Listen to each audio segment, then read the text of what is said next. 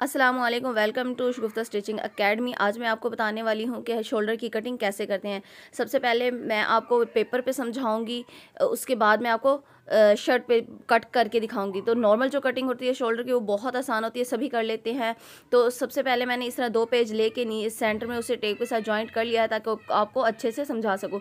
तो उसके बाद हमने अपने कुर्ते को ऐसे रखना है, उसकी लेंथ जो है इस तरफ़ होनी चाहिए और जो बंद साइड है वो बाहर वाली साइड पर और ओपन वाली साइड अपनी साइड पर होनी चाहिए।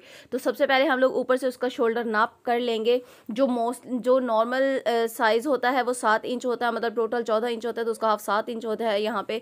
पेज छोटा है तो मैं सात फ़र्ज़ कर ले सात इंच इतना होगा। और उसकी जो गहराई होती है, वो आठ इंच तक होती है।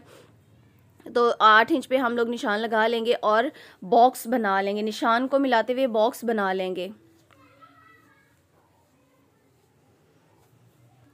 ये देखें मैंने बॉक्स बना लिया है और यहाँ तक तो क्लियर हो गया। अब आगे जो मेन चीज़ होती है, वो होती है हमारी कटिंग सबसे पहले मैं ऊपर तीन इंच पे निशान लगाऊँगी, क्योंकि जो थोड़े से हेल्दी होते हैं, वो उनकी यहाँ से ही फटना शुरू होती है। तो मैं तीन इंच पे निशान लगाऊँगी और उससे नीचे जो है राउंड में शेप दे दूँगी उस उसके बाद हमने इसे राउंड शेप दे देनी है। सबसे पहले ऊपर से नाप किया, फिर उसकी गहराई का नाप किया। उसके बाद हमने यहाँ से नीचे जो फिटिंग की सिलाई होती है, सबसे ऊपर हमने उसका निशान लगाना है। तो इसके, यहाँ पे, उसका फिटिंग का निशान लगेगा, उसके बाद जाके हम लोग राउंड शेप देना स्टार्ट करेंगे। तो सबसे पहले यहाँ पे फ़र्ज़ कर लें, अगर इक्कीस इंच है तो उसका हाफ़ जो है, वो साढ़े दस इंच होगा। तो साढ़े दस पे निशान लगा के हम लोग उसकी फिटिंग का निशान लगा लेंगे। उसके बाद सेंटर से ऊपर की तरफ़ हम लोग डेढ़ इंच का निशान लगाएँगे और इसको राउंड शेप दे देंगे। कुछ इस तरह से। जहाँ पे हमारा फिटिंग का निशान होगा, वहाँ तक हमने राउंड शेप देनी है, उसके आगे हमने सीधा कर लेना है। मेरी एक बात आप याद रखिएगा कि जब आप फिटिंग, सबसे ऊपर वाली फिटिंग का निशान नहीं लगाते और राउंड शेप में कटिंग कर देते हैं या निशान लगा लेते हैं तो आपकी कटिंग का या तो शोल्डर आपका बहुत बड़ा हो जाता है या फिर छोटा हो जाता है। तो ये बहुत ही इम्पोर्टेंट चीज़ होती है कि आपने फिटिंग की सिलाई लगा के फिर आपने उसकी कटिंग करनी है। और सबसे, जो हेल्दी होते हैं, उन उनके लिए ये है कि वो ऊपर से डेढ़ से, एक से डेढ़ इंच लें और वहाँ से शेप देना स्टार्ट करें ताकि ऊपर से थोड़ा सा खुला हो। वरना अक्सर हेल्दी लोगों की यहीं से ही शर्ट फटती है। उसके बाद हम फ्रंट की कटिंग का निशान लगाएँगे तो डेढ़ इंच हमने उस कोने के पॉइंट से अंदर की तरफ़ डेढ़ इंच निशान लगाना है और ऊपर जाके मिला देना है इस तरह करके और नीचे भी इस तरह करके मिला के बॉक्स बना लेना है। तो ये मैंने डेढ़ इंच के निशान लगाया है। अब इसको हम लोग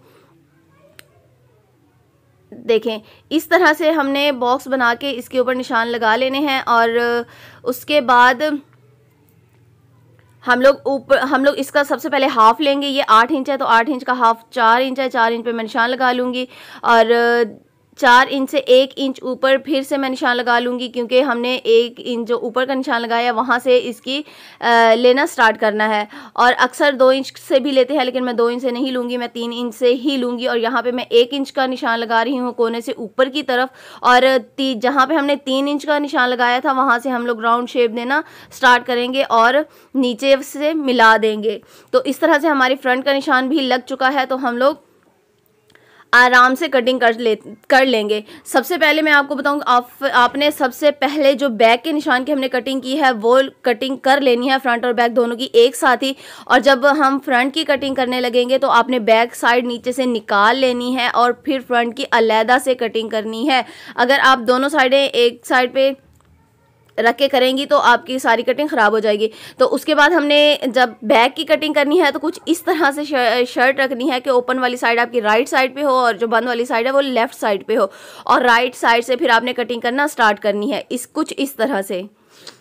ये देखें हमारी कटिंग हो चुकी है बैक की। अब हमने जो जो फ्रंट का पीस है, वो नीचे से निकाल लेना है और बैक का करना है। मैं आपको पेपर पे समझा रही हूँ तो इसलिए मैं इस तरह आपको कटिंग करके दिखा रही हूँ सिर्फ़ ऊपर वाली साइड से ताकि आपको अच्छे से समझ आ जाए।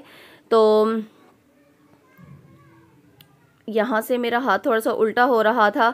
जब हमने फ्रंट की कटिंग करनी है तो हमने ये साइड लेफ़्ट हाथ वाली साइड पे रखनी है, तब जाके हमारी कटिंग जो है वो अच्छे से हो पाएगी। बैक की कटिंग हमने राइट साइड पे रख के करनी है और फ्रंट की कटिंग हमने लेफ़्ट साइड पे रख के करनी है। फिर आपकी कटिंग बहुत ही अच्छी आएगी और जब कटिंग अच्छी होगी तो आपकी फिटिंग भी अच्छी आएगी। ये देखें, अब वैसे आपको समझ नहीं आ रही होगी, नज़र नहीं आ रहा होगा क्योंकि दोनों ही वाइट पेज हैं तो मैंने पेंसिल के साथ उसको हाईलाइट कर लिया है। तो अब देखें, यहाँ से अक्सर ये कटिंग करने का मकसद यही होता है कि अक्सर यहाँ से ऊपर वाली साइड से हमारी चुनर्स पड़ जाती हैं। तो जब हम कटिंग करते हैं तो हमारा परफेक्ट फिटिंग में बैठती है शर्ट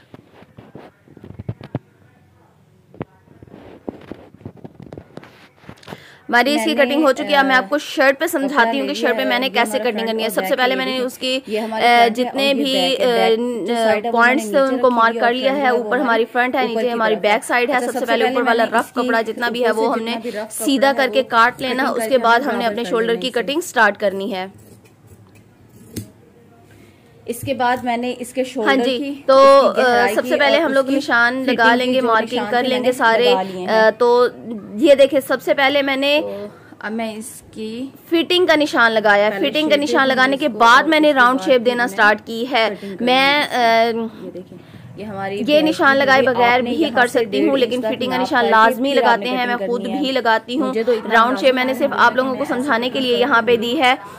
तो अब ये देखें। और अल्हम्दुलिल्लाह मेरा इतना तजर्बा है कि मैं हाँ ये निशान ये राउंड शेप दिए बगैर ही चौक के साथ मतलब लाइन लगाए बगैर ही कटिंग कर लेती हूँ लेकिन ये मैंने आपको सिर्फ़ समझाने के लिए लगाई है और अभी मैं कटिंग कर लूँगी इसे। आ रहा है। तो ये देखें यहाँ पे कपड़े की डायरेक्शन बहुत अहमियत रखती है।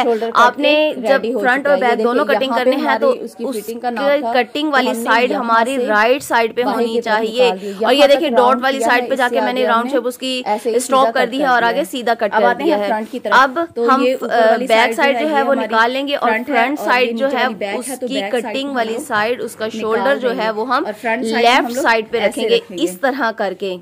अपने उल्टे जब हम इस तरह करके रखेंगे तो हमारी जो कटिंग है वो परफेक्टली हो जाती है। सीधे हाथ से ही ये वाली कटिंग करना थोड़ा मुश्किल होता है। जब आप ये देखें उल्टे हाथ पे रख के इसकी कटिंग करते हैं तो बहुत ही आसानी से हो जाती है कटिंग आपने राइट हैंड राइट हैंड से ही करनी है लेकिन कपड़े की डायरेक्शन आपने चेंज करनी है। आपने एक एक चीज़ को नाप करके फिर आपने कटिंग करने से पहले मार्किंग लाजमी करनी है ताकि आपका परफेक्ट बैठे मेरा तो इतना तजर्बा है कि मैं बिना निशान लगाए बिना मार्किंग किए कट कर सकती हूँ लेकिन आप आप अभी सीख रहे हैं आप अभी न्यू है तो कोई किसी भी चीज़ में रिस्क मत लिया करें।